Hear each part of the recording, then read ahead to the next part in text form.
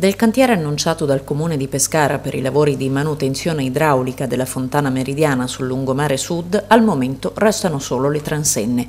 La richiesta congiunta di FIBA Confesercenti e SIB Confcommercio di posticipare i lavori ha dato infatti i suoi frutti, portando Palazzo di Città a derogare l'avvio del cantiere a tempi migliori, possibilmente all'autunno, per non disturbare la stagione balneare in corso. L'annuncio dei lavori aveva infatti messo in allarme i balneatori dell'area interessata a ridosso di stabilimenti che avrebbero patito non poco i disagi del cantiere, come ha spiegato al TG8 Andrea Berardinelli, titolare di uno degli stabilimenti in questione e membro di FIBA Confesercenti. Come categoria chiediamo di essere consultati almeno per, eh, nei periodi di maggiore afflusso turistico e di bagnanti eh, per le opere che si compiono lungo la riviera, per poterle concordare, almeno avere una una calendarizzazione già che spesso queste opere creano disagio e come in questo caso avere un, un'area occlusa in questo periodo appare eh, del tutto tipo, antiestetico soprattutto.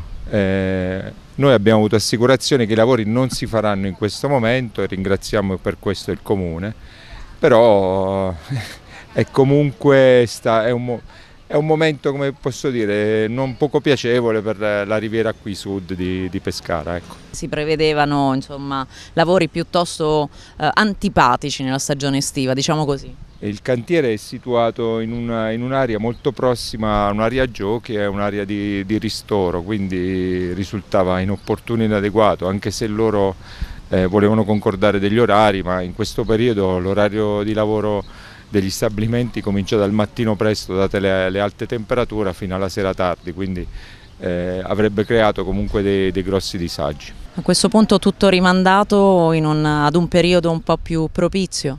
Eh, ringraziamo il Comune per questo, lo ripeto, perché comunque ci è venuto incontro, speriamo che nelle prossime volte almeno di avere un dialogo, ecco, non è che noi abbiamo potere decisionale, però se, se potessimo dialogare di più per le opere, per tutte le, le, cose che si fanno lungo la riviera, potrebbe essere anche un, eh, un punto a favore della città. Ecco.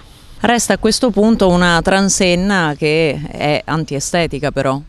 Mi auguro che trovino un sistema per toglierla perché in questo momento questa, questa meridiana che era anche un lustro della città eh, diventa un, un, un, non dico un obbrobrio ma qualcosa di non bello a vedere. Ecco.